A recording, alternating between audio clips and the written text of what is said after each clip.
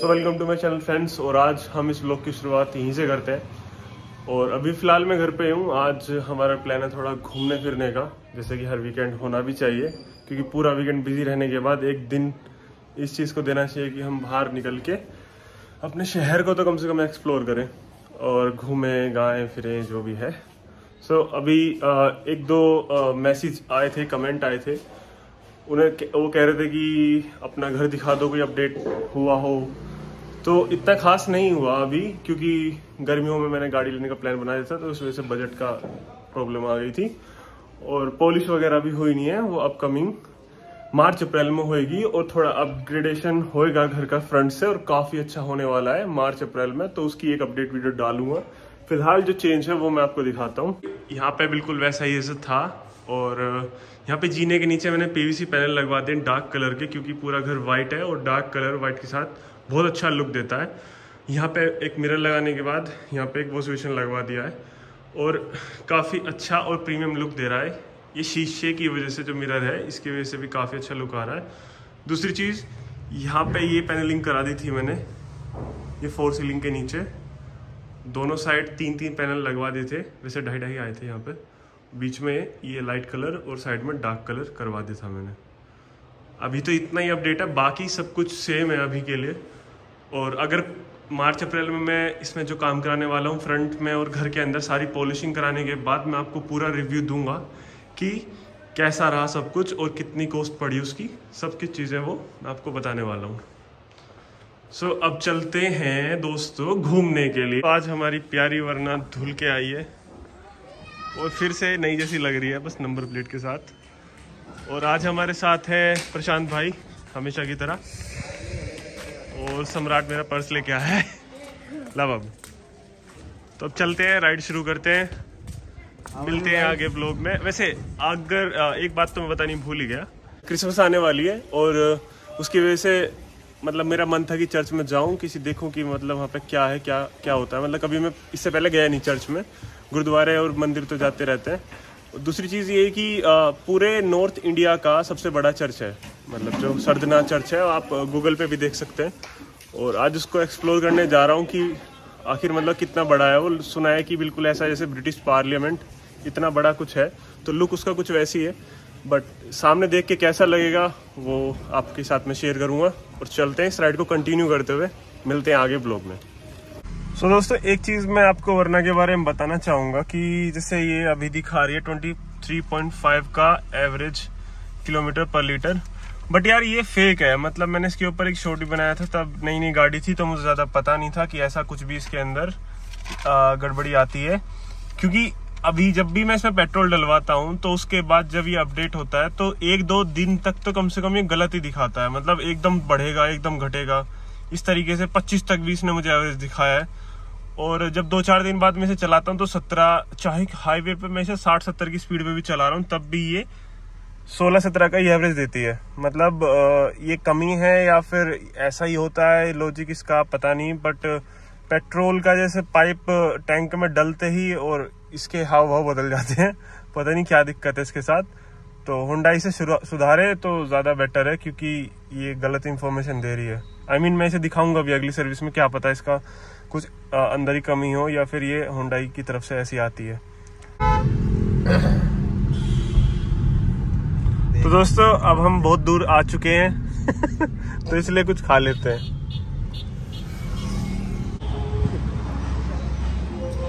यहाँ पे मेरठ के आधे कपल्स आते हैं, क्योंकि बाईपास पे है कॉलेज के बीच हम बीच, ये बिकीज है यहाँ पे।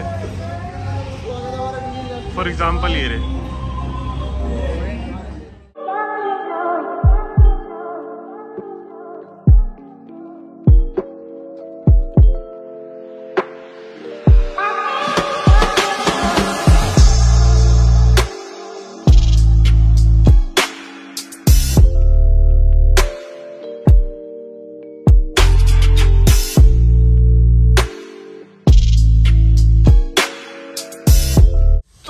आ चुके हैं हम एट लास्ट चर्च के पास।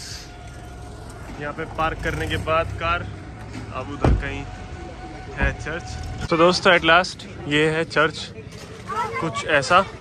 और वाकई में ये ब्रिटिश पार्लियामेंट जैसा ही लग रहा है, एक तरह से। जैसे यूएसए का अपना एक पार्लियामेंट है, वैसा भी कुछ।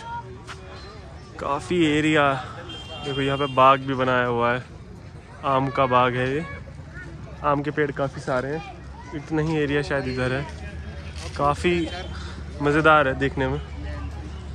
यहाँ पे एंट्री पे जीसस क्राइस्ट है। काफ़ी सारे स्टैचूज़ हैं इनके। और काफ़ी अच्छा मेंटेन किया हुआ है। तो दोस्तों एट लास्ट हम अपने चर्च पे आ चुके हैं।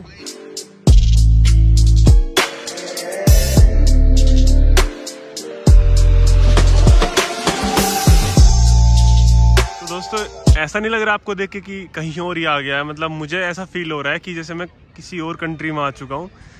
ये यूरोपियन जैसे अपने स्ट्रक्चर्स बनाते हैं, उस तरीके से बनाया हुआ है, बिल्कुल।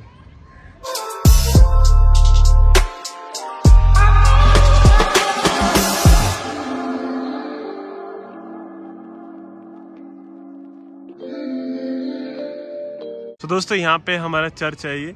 एंड इस चर्च में ये जो मेन गेट देख रहे हैं आप ये बड़ा सा यही एंट्री का मेन गेट है बट ये बंद है अभी और किधर से एंट्री उस साइड से जिधर वो टेंट लग रहा है ब्लैक वाला। तो प्रशांत भाई शायद यहाँ पे सारी मन्नतें होती है ना? हाँ भाई यहाँ मन्नत अपने कैंडल वैंडल जलाए। हैं कैंडल वैंडल तुम नहीं लाए। तुम्हारी मन्नत नहीं तुम तो खुद पूरी कर लेते हैं भगवान की तुम्हें ज़रूरत ही नहीं खैर हमने जला चुके हैं हम तो मज़ाक कर रहे हैं। और दूसरी चीज़ ये है कि काफ़ी अच्छी जगह है मतलब हम हमें पता नहीं था ये सब चीज़ें होती हैं। हमेशा मूवी में देखी है बट लाइव कभी नहीं देखी कि ऐसे मोमबत्ती जलती हैं। और क्योंकि कभी चर्च वर्च गए नहीं यार हम। कन्फेशन रूम भी तो होता है हाँ है। इधर है ना आगे। अच्छा प्रशांत भाई यहाँ पे पहले आए हुए ना तो इन्हें ज़्यादा पता इधर से आगे है थोड़ा सा। हाँ पिछली बार आए थे हम।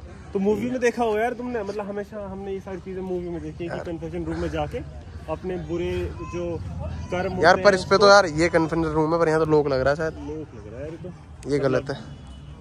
चलो कोई नहीं देख पर दिखा देते हैं आपको हम ये है। काफ़ी बड़ा और अच्छा चर्च है यार मतलब मज़ा आ गया देख के। अब चलते हैं अपने दूसरी तरफ़ देखते हैं इस चर्च में और क्या खास है। अभी तो खैर हम अंदर नहीं गए तो मेन चीज़ क्या है अंदर? वो मुश्किल दिखा पाएँगे। वो जैकलिन फर्नांडिस जो है वो बैठी थी एक मूवी में अक्षय कुमार की जो मूवी थी उसमें यार वो वो चीज़ें है ना यार रियल लाइफ में देखने का मज़ा कुछ हो रहा है। जैसे जैसे कोर्ट होता है, कोर्ट में वहाँ पे जज साहब, वो वाले डायलॉग चलते हैं ना, पर रियल लाइफ में वैसा नहीं है। और लेकिन चर्च में अंदर जाके वही फील आने वाली है, क्योंकि वही रियल स्ट्रक्चर होता है अंदर का। तो देखते हैं और महसूस करते हैं उस फीलिंग को जो हम घर पे बैठ के मूवीज़ में देखते हैं। अरे वाह मतलब यहाँ पे वो, जहाँ पे जीसस हुए थे, इस तरीके से ये स्ट्रक्चर बनाया हुआ है और यहाँ पे सारी किले विले हैं मतलब जो उस टाइम पे होते थे। तो दोस्तों यार, मैंने सुना है अभी प्रशांत ने बताया कि अंदर जाके वीडियो नहीं चलने देते बट कोशिश करते हैं थोड़े बहुत शॉर्ट्स लेने की, छुप छुप के। देखते हैं क्या होता है।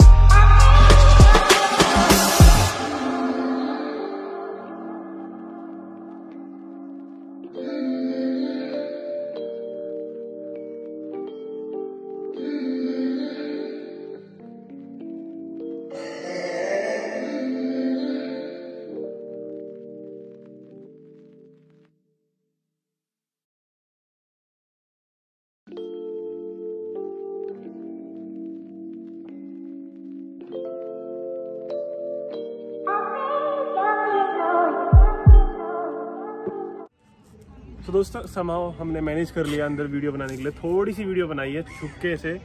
और इन्होंने मना भी एक अच्छे रीज़न की वजह से किया हुआ है, क्योंकि जो वीडियो के नीचे कमेंट्स आते हैं कभी कभी गलत दिया जाते हैं। आपको पता है कि नेगेटिव और पॉजिटिव लोग दोनों ही यूट्यूब पर रहते हैं।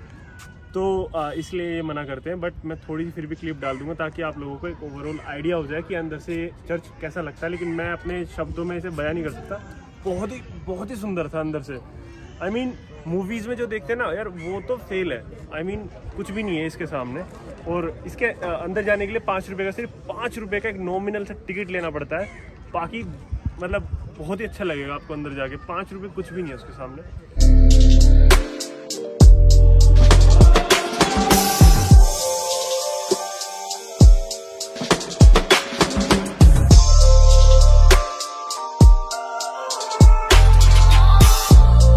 लड़कों का फ़ोटो शूट ही खत्म नहीं हो रहा आज।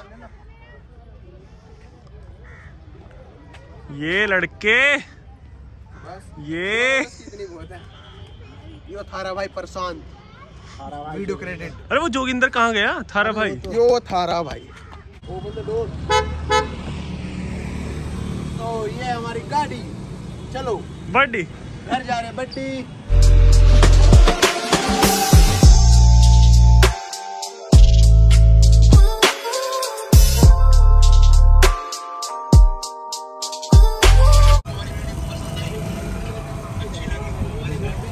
बाय बाय सो दोस्तों, अब आ चुके हैं अपने घर। और अरे, थक गए काफ़ी घूमते घूमते हम्म। सो दोस्तों, मैं इस ब्लॉग को यहीं पे एंड करता हूँ और मिलते हैं नेक्स्ट वीडियो में। अगर आपको वीडियो पसंद आई हो तो इस वीडियो को लाइक करें चैनल को सब्सक्राइब करें। और खड़ा हो जाए चलो बाय बाय